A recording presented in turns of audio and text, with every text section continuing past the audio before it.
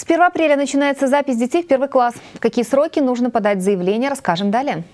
С 1 апреля заявления могут подавать те, кто идет в школу, которая закреплена за адресом регистрации, а также первоочередники и льготные категории. Сделать это можно будет через сайт госуслуг Московской области вплоть до 30 июня. Приказ о зачислении ребенка в школу, согласно свободных мест, будет издаваться директором в начале июля.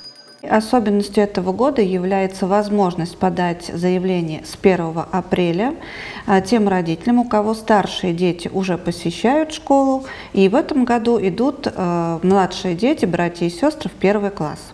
А, данное требование и данная возможность для братьев и сестер, она распространяется не только для тех, кто закреплен на закреплен на территории за школой, но и проживает э, в микрорайоне, не закрепленном за данной территорией. Родители первоклассников, отдающих ребенка в школу, где учится их сестра или брат, прикрепляют регистрацию поступающего ребенка, чтобы система пропустила их заявление. Адрес регистрации значения не имеет. Приносить в школу оригиналы документов не нужно. С 6 июля, но не позднее 5 сентября, подают заявление те, кто проживает на незакрепленной территории. При подаче заявления необходимо приложить цветные сканы паспорта, справку с места работы для льготников, документы регистрации ребенка по месту жительства. Свидетельство о рождении прикреплять не нужно, только если оно выдано не в России.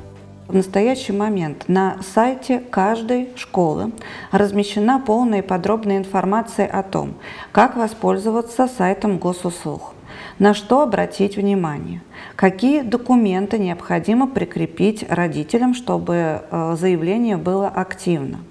Также на сайте каждой школы указано количество свободных мест, планируемых к открытию в первых классах с 1 сентября, и контактный телефон или контактные данные ответственного лица школы, Родители могут отслеживать статус своего заявления через портал госуслуг после 24 часов с момента подачи.